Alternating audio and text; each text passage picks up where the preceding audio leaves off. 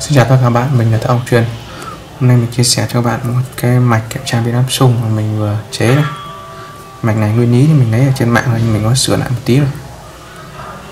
Lát mình sẽ chia sẻ sơ đồ cho các bạn.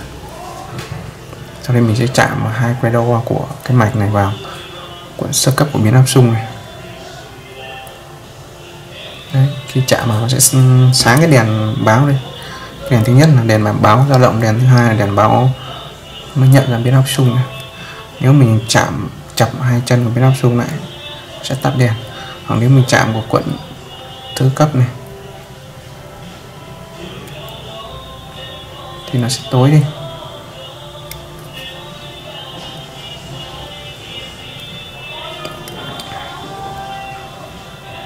Ừ. nếu mình chạm vào cuộn thứ cấp, nó sẽ tối đi. Sẽ trên kẹp vào cái cuộn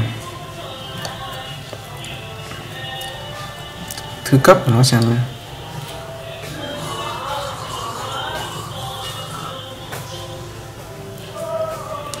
nó có tối đi nhưng mà không không bị chập, không bị tắt hẳn nếu biến áp xung mà bị chập thì nó sẽ tắt hẳn như này. Đây là cuộn thứ cấp này. Nó vẫn sáng nhé nếu mà mình chập này tắt hẳn lên kìa.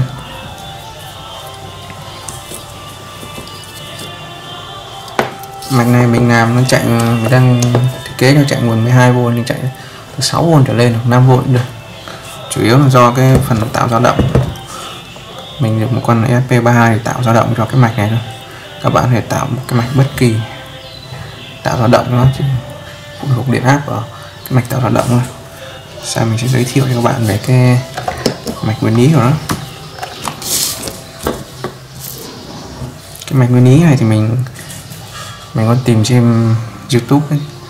thì cái mạch kiểm tra biến xung được một số người đã làm được đây là cái sơ đồ mạch nguyên lý của bạn HT Pro 189 các bạn tìm trên youtube sẽ có. Cái mạch này sử dụng ICNE 555 để tạo xung vuông và nó có một cái mạch cấp điện, cấp cho cái đèn để sáng và để kiểm tra bên áp xung này. Thì mình cũng mình từ đấy mình cải tiến lên. Mình vẫn là cái mạch ừ, cấp ừ, ừ, cấp cho đèn để đưa ra hai cái đó ấy. Nhưng trước khi cấp ra đèn, mình đã nối qua một con tủ 103 này. Thì cái mạch này của mình thì khi khi gặp biến áp xung cái đèn cái đèn này sẽ sáng lên này còn mạch của bạn HT Pro 189 thì cái đèn này bị tối đi. Nó bị gặp bị Samsung nó sẽ tối đi nhưng mà không tối hẳn không tắt hẳn. Còn cái mạch này của mình khi gặp cái miếng Samsung phù hợp thì nó sẽ sáng lên sáng cái đèn này lên.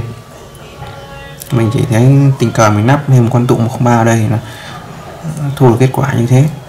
Nhưng trước khi mình cấp sung ra để đo ấy, thì mình đã đưa một cái sung vào qua một con MOSFET mình dùng con 2N7002 hoặc 7000 là được. Thì bản chất của cái mạch này nó tạo ra một cái xung vuông. Thì mình đã thử tầm tầm 3 3 kHz trở lên là mạch làm việc rồi. Nhưng mình có một con fp32 này là mình đã chơi luôn 30 kHz. Mình thử đến 250 kHz mạch vẫn làm việc con một phép này nó sẽ kích cái xung vuông từ từ con SP 32 này lên, xung 12V để kiểm tra biến xung. Các bạn có thể không dùng 12V thì vẫn được 6V cũng được, nhưng mình cần 5V để mình cấp cho SP32 làm việc. Ở trên mạng có một cái sơ đồ khác của của một cái bạn là sửa chữa dạo này. Một bạn trên kênh youtube sửa chữa dạo bạn làm một cái mạch giống như một bác sửa chữa tân đàn này. Bác sửa chữa tân đàn này, bác làm mạch này để bác bán. Mình lúc đầu định mua bác nhưng mà bác lại khóa tính năng bình luận rồi, không mua được. Thế là chế cái mạch này. Bác sửa chữa tân đạt này cũng, mình biết qua là kênh của bác Vũ Kiên sửa điện tử. Thì mạch não làm việc được thôi, mạch của bác Tấn Đạt thì hay hơn. Nó sáng bằng cả một dải đèn này, hay nhưng mà mình không linh kiện này, mình chế tạo như này. Nhưng cứ làm việc là được, mèo nào cũng cứ bắt chuột được. Là được mình chế tạo nếu mà các bạn mà không có ESP32 thì các bạn có thể dùng cái này E555 mình mắc sung lên, mắc tạo sung vuông. Mình không có nên là mình cũng ngại. Sẵn có con này mình chế luôn cha mình sẽ kiểm tra cho thêm loại một cái quân cảm có cái ừ, mạch đèn led mạch đèn led chiếu sáng. Cái này là quân cảm nhé, nó không biến áp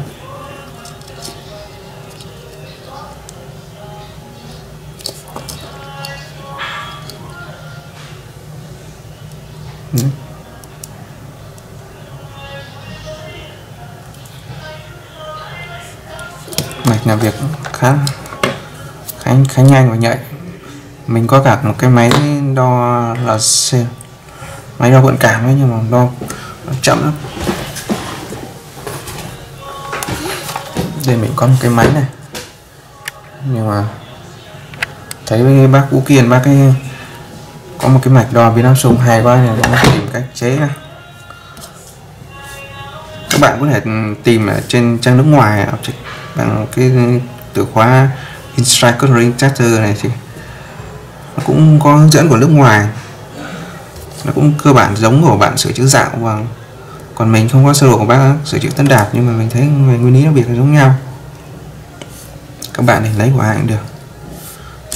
Mình thì thấy cái bài này đơn giản. Một con 555 và tạo dao động ra. Mình thì thêm một con mốt phép và thêm một con tụ. Cách ni với biến áp sụp đó. thì tình cờ này cộng hưởng làm sáng cái đèn này này. Các bạn không ăn tụ 103 này thì cái đèn này nó không sáng được như này được đâu.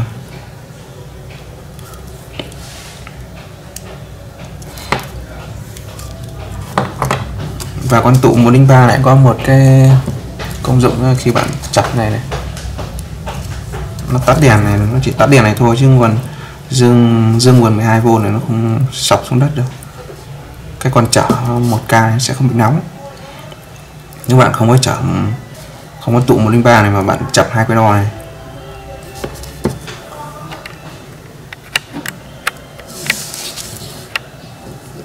Nếu các bạn mà không có ờ, tụ 103 này, mà các bạn chập ừ, que đo này lại, thì là con con điện trở 1k hạn dòng cái đèn này nó sẽ rất nóng. Mình sẽ thử. Nếu 12V này bạn mắc lên 2k 3k nhưng mình có tụ thì nó không nóng. Chạm vô tư các bạn. Video của mình này kết thúc. Hẹn lại các bạn trong video tiếp theo.